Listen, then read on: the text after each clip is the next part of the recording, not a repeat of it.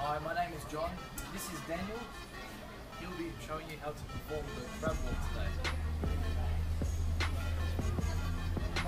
Ready? And action. So Daniel will get you to stand to your feet, slightly wide at the shoulder.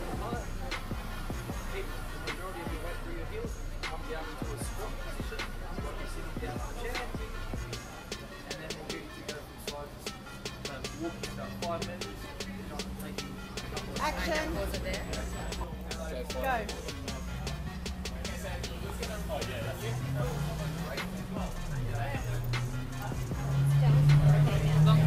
So that was a crab walk.